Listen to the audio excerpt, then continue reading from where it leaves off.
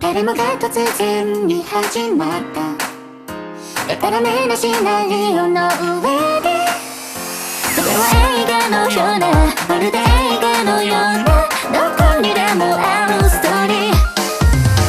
間違いだらけの道のりだ。丸つけられるのはいくつだ。何が良くないのかどこが良くないのか。